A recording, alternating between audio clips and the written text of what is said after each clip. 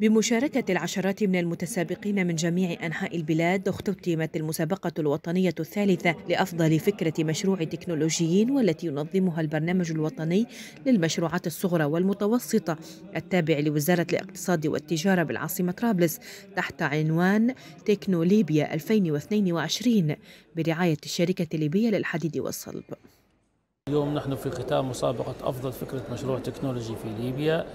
هذه المسابقة اللي بدأت من أكثر من ثلاثة أشهر وشارك فيها أكثر من 1360 متسابق في جميع أنحاء الوطن. اليوم شفنا مجموعة من المشاريع الابتكارية والإبداعية أفكار رائدة وأفكار واعدة لشباب ليبيين. للكثيرين اليوم هو ختام مسابقة لكن بالنسبة لنا اليوم هو استمرار العمل وبداية العمل في احتضان المشاريع الحفل شهد تكريم العشرة الأوائل بالمسابقة إلى جانب تقديم جوائز نقدية للمتحصلين على المراتب الثلاث الأولى بقيمة قدرها 60 ألف دينار. مشاركة حقيقة كان فيها زخم كبير شارك أكثر من 1360 مشروع من كل أنحاء ليبيا مشاريع متنوعة مبتكرة مميزة. اخترنا منها short list من 60 مشروع.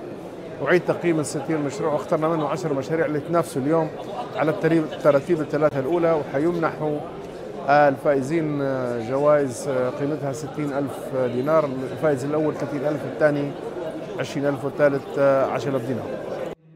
مسابقة تأتي في إطار تفعيل دور قطاع المشروعات الصغرى والمتوسطة بدعم الاقتصاد الوطني والتوجه نحو الاقتصاد الرقمي والحر ودعم اقتصاد المعرفة.